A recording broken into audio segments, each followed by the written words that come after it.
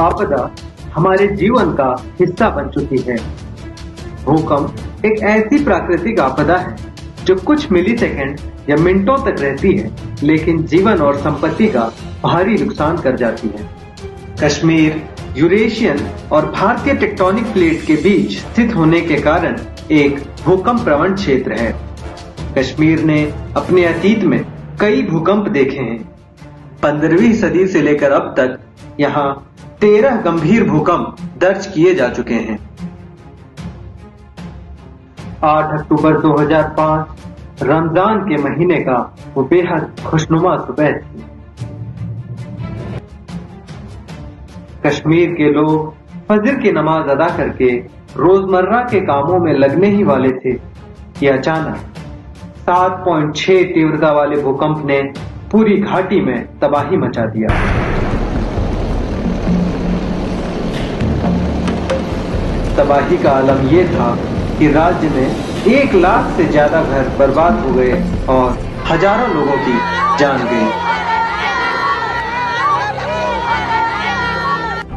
सबसे ज़्यादा नुकसान उरी और तंधार में हुआ, जहाँ पूरे गाँव के गाँव बर्बाद हो गए और सैकड़ों परिवार देखते ही देखते उजड़ गए। ऐसे में कमजदा लोगों की मदद के लिए जैसे फरिश्ते उतर आए। भारतीय सेना और भारतीय वायुसेना ने आवाम को बचाने के लिए दिन रात रेस्क्यू ऑपरेशन चलाए। दिन को दिन न समझा और न रात को रात।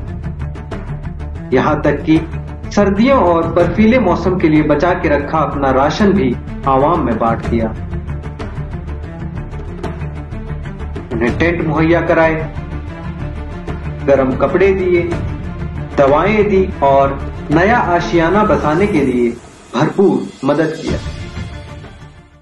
इन्होंने हमारी डटवाड़ियों को हमारे घरों से गेंदती बेल्चा और चबल लेकर उनको निकाला और हमारे साथ उनकी कब्रें खुदवाई उनको हमारे साथ दफन कराया। उस वक्त कौन था हमारे पास? कोई भी नहीं था। सब कुछ खत्म हो गया था। क्या था हमारे पास? ये फौज भाई को आवाज़ देते थे कोई चीज़ पानी सब तड़प रहे थे पानी के पीछे। इन्होंने हमारे साथ मदद की है, बहुत मदद की है। हमें फौज ने बहुत मदद की है।